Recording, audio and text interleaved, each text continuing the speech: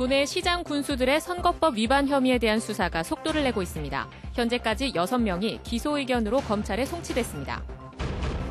동해안권 경제자유구역 개발이 부진하고 면적도 줄어들자 사회단체들이 비상대책기구를 구성하고 특단의 대책을 요구하고 나섰습니다. 평양에서 열린 제4회 국제 유소년 축구대회에서 주문진 중학교 선수들이 남북 학생교류에 물꼬를 텄습니다. 5회 대회는 오는 28일부터 춘천에서 열립니다.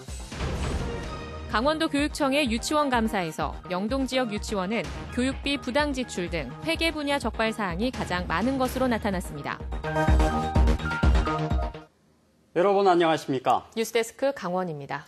동해안권 경제자유구역 개발이 부진한 데 대한 동해 시민의 실망이 점차 반발로 바뀌고 있습니다. 여러 단체들이 비상대책기구를 구성하고 특단의 대책을 요구하고 나섰습니다. 유인호 기자가 보도합니다.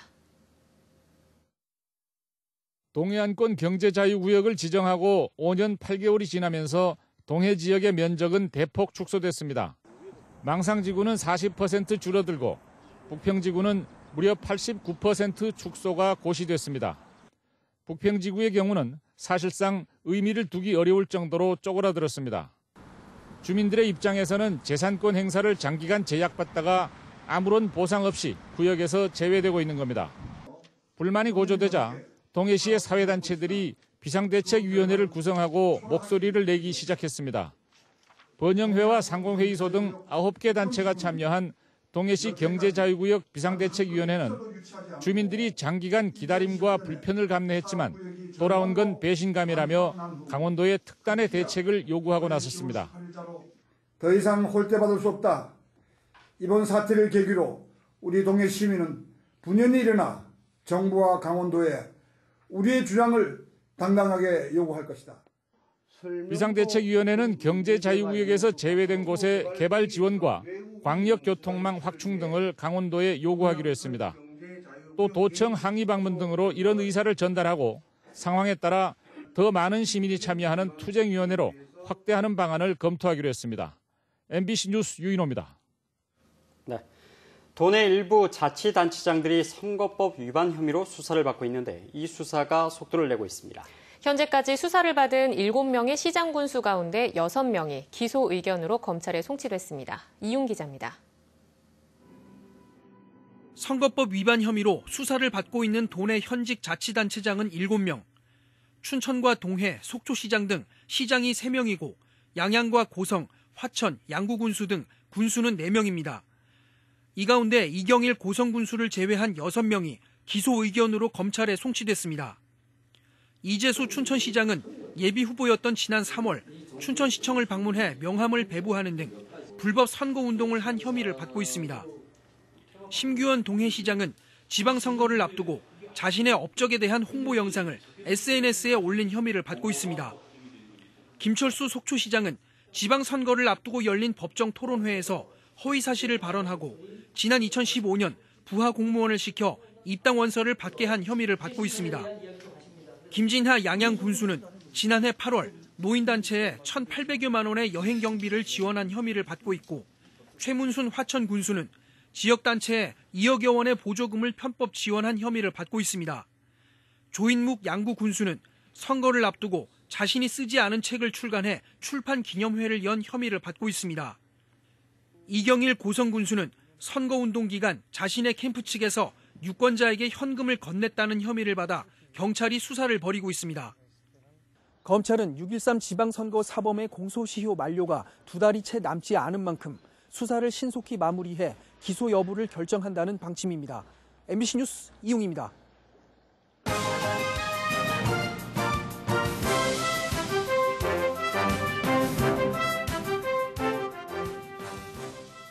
다음은 우리 아이들입니다.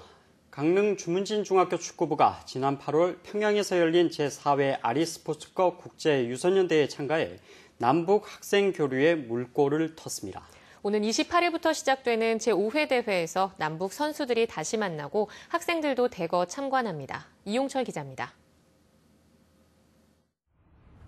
평양의 상징인 개선문을 통과해 과학자의 거리인 여명거리를 지납니다. 아리스포츠컵 국제유소년 축구대회에 참가하기 위해 강릉 주문진 중학교 선수들이 평양을 다녀왔습니다. 좋은 경험을 쌓자고 생각하고 북한이랑 이제 이제 교류도 같이 만나고 하고 그리고 그 대회 가서 열심히 하자고 생각했고 그리고 북한 친구들이랑 친해지고 북한 팀에게 우승을 넘겨줬지만 열흘 동안 평양에 머물며 남북 화해 분위기 조성에 일조했습니다. 기량은 별 차이가 없는데 physical 쪽에서는 많이 차이가 나더라고요. 북쪽 애들이 어, 저희 아이들보다 좀 physical 쪽에서 많이 뛰어나더라고요. 처음 가보는 것이라 긴장도 됐지만 평양 시민들의 응원에 서로 다르지 않다는 걸 느낄 수 있었습니다. 가기 전에는 그 저희가 태어나서 아니, 죽을 때까지 가볼 수 없는 곳을 간다니까 설렜고 갔다 온 후는 북한 주민이 너무 착하고 경기 뛸 때 사람 많이 와주셔서 너무 감사했어요. 이번 대회를 통해 새로운 북한 친구들을 사귀고 통일에 대한 희망과 국가대표의 꿈을 꾸게 됐습니다. 거기서 만난 친구 일송이라고 친구가 있는데 그 친구랑 나중에 국가대표가 되어서 남북 단일팀으로 한번 나가고 싶다는 얘기를 했었는데 꼭 나중에 커서 같이 한 팀에서 뛰어봤으면 좋겠어요. 국제유소년 축구대회는 남북 학생들이 동질감을 회복할 수 있는 소중한 기회가 됐습니다. 앞으로도 이 남북 교류와 특히 이 교육 교류가 중요할 것 같습니다.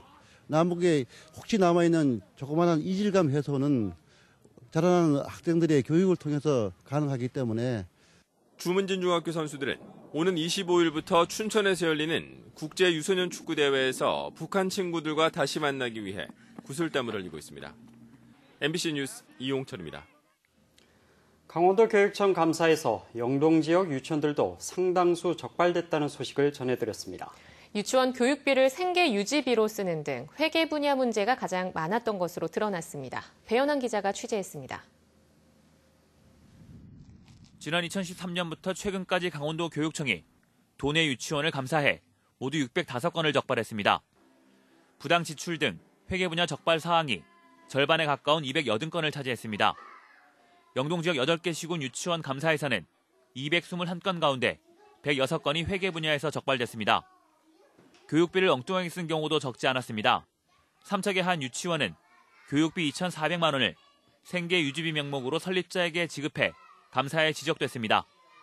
강릉의 한 유치원도 급식비 510만 원가량을 교사 회식비 등으로 썼다 적발됐습니다. 일부 공립 유치원도 교사의 연구 활동비를 물품 구입에 쓰는 등 원래 목적과 다르게 예산을 써온 것으로 확인됐습니다.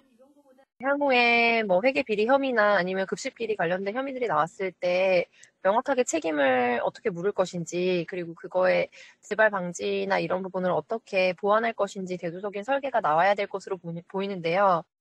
교직원 급여를 제때 주지 않거나 임의로 학급을 늘리고 동료 교원끼리 폭행 사건을 벌이는 등 적발 사례가 다양했습니다. 교육 당국이 유치원에 대한 감사를 강화하겠다고 공언했지만 학부모들의 불신은 쉽게 사라지지 않을 것으로 보입니다. MBC 뉴스 배현환입니다. 네, 제10대 강원도의회가 도정과 교육행정에 대한 첫 질의를 벌였습니다.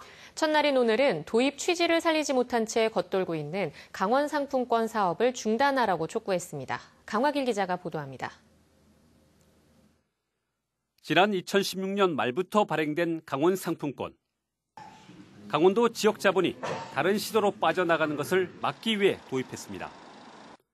그동안 발행된 강원 상품권은 830억 원. 이 가운데 실제 판매액은 569억 원에 그쳤습니다. 특히 판매액 중 469억 원은 강원도가 비상경제 운영을 위해서 사들였습니다. 결국 민간에서 산 상품권은 96억 원에 불과합니다. 이에 반해 강원 상품권 판매와 환전 수수료로 농협에 10억 7천만 원을 지불했습니다. 강원 상품권 판매를 대행하는 농협에 배만 불린다는 지적이 나옵니다. 제10대 강원도의회 첫 도정 질문에서 강원 상품권은 도마에 올랐습니다. 함종국 의원은 도입 취지를 살리지 못하는 상품권 사업의 중단을 촉구했습니다. 비용은 30억 4천만 원으로 당초 목적에 부합하지 못하고 많은 비용만 낭비하는 대표적인 예산 낭비 사례로 판단하는데 이에 대해 강원도는 23% 수준인 사용처를 늘리고 모바일 결제도 도입하겠다고 밝혔습니다.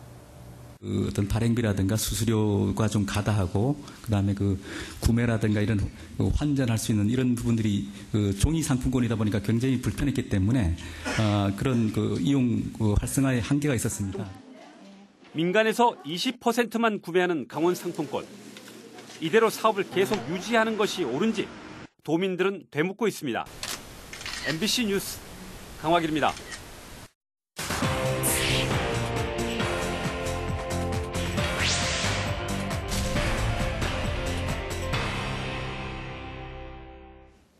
공공기관 채용비리 의혹에 대한 야당의 국정조사 추진에 강원랜드도 포함될 가능성이 높아지고 있습니다. 자유한국당과 바른미래당, 민주평화당이 공공기관 특혜 채용 의혹에 대한 국정조사 요구서를 국회에 공동으로 제출하자 정의당이 강원랜드 채용 비리도 포함시킬 것을 요구했습니다. 더불어민주당이 야당의 요구를 수용하면 강원랜드까지 국정조사가 확대될지 주목되고 있습니다. 한편 강원랜드 채용 비리와 관련해 자유한국당 권성동 국회의원과 염동열 국회의원은 채용 청탁 혐의로 재판 중에 있습니다. 장기 미제 사건으로 남아있던 강릉 노파 살인 사건의 용의자가 항소심에서도 무죄를 선고받았습니다. 서울고법 춘천재판부 형사 1부는 2005년 강릉시 구정면에서 60대 노파를 살해한 혐의로 기소됐다 무죄로 석방된 50살 정모 씨에게 원심과 같은 무죄를 선고했습니다. 재판부는 경찰이 사건 현장에서 확보한 부분 지문의 증거 능력을 인정하지 않고 무죄를 선고한 원심 판단이 적법하다며 선고 이유를 밝혔습니다.